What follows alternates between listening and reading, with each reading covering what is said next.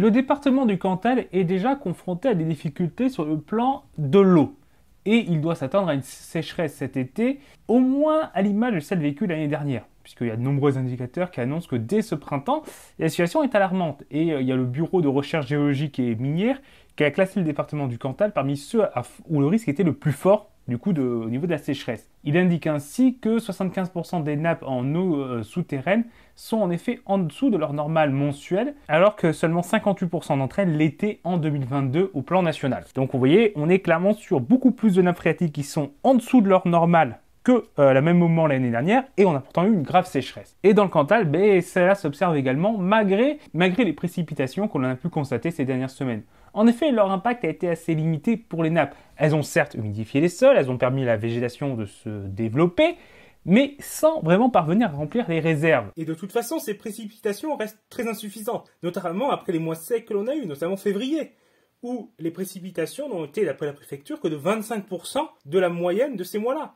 Et si on observe l'ensemble des précipitations depuis le début de l'année, on est, si on compare à la moyenne des 15 dernières années, sur un recul d'environ 40%.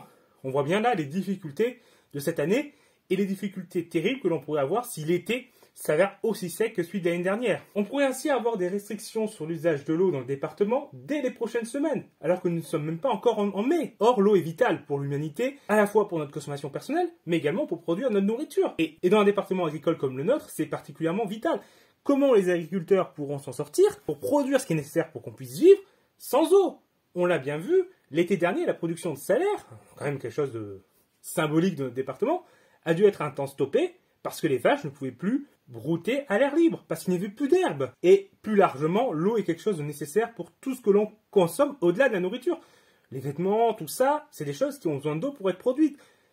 On estime ainsi qu'en France, la consommation d'eau totale pour notre fonctionnement de la société est de 5000 litres par an et par habitant. On voit bien à quel point c'est un enjeu crucial pour notre société. C'est également un problème mondial. Ainsi, selon les experts du Programme mondial des Nations Unies, qui évalue les ressources en eau, le monde devra faire face à un déficit hydrique global de 40% dès 2030 si rien n'est fait. Donc on voit bien qu'on se dirige vers une grandes difficultés en France et ailleurs. Que faire face à cette situation? Alors, il n'y a pas de solution magique qui réglerait tout, mais il peut y avoir quelques pistes de réflexion. Euh, notamment en France, et ce qui est proposé par, par la NUPES, il y a la question de la rénovation des réseaux d'eau et d'assainissement afin de limiter les fuites. Et donc ça, ça doit être financé euh, notamment ben, en aidant les collectivités locales à financer l'entretien de leur réseau. En effet, en France, on estime que 1 litre sur 5 en moyenne n'arrive pas à notre robinet.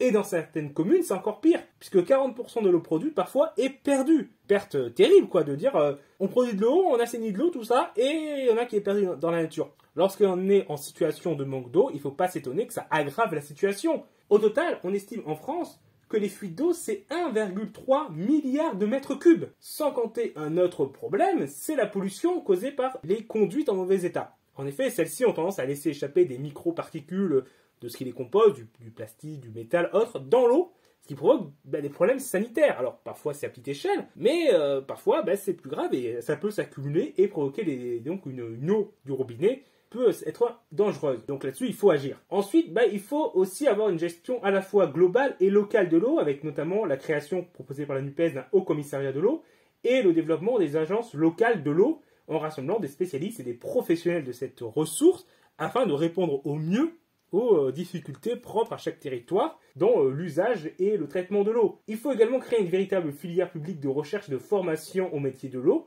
donc là aussi, NUPES propose de la créer, de euh, lui donner des moyens financiers pour former des spécialistes afin de répondre aux enjeux de demain. Après, il y a aussi sur le plan international que la France peut agir, puisque on l'a vu, c'est un problème mondial qui va se poser dans de nombreux pays, notamment bah, dans les pays où l'accès à l'eau potable est insuffisant. Il faut agir pour développer dans ces pays l'accès à l'eau potable, le traitement de l'eau, et aussi bah, agir partout pour limiter le gaspillage de l'eau et avoir, bah oui, peut-être une politique internationale, au niveau de l'ONU par exemple, sur euh, l'usage de l'eau et par exemple dans, l'agriculture intensive qui est, qui est euh, développée dans certains pays avec un usage de l'eau absolument incontrôlé, il y a peut-être des choses à encadrer. Après là-dessus, je suis moins un spécialiste et j'ai moins encore lu sur le sujet, mais je pense qu'il y a des pistes à explorer vers là.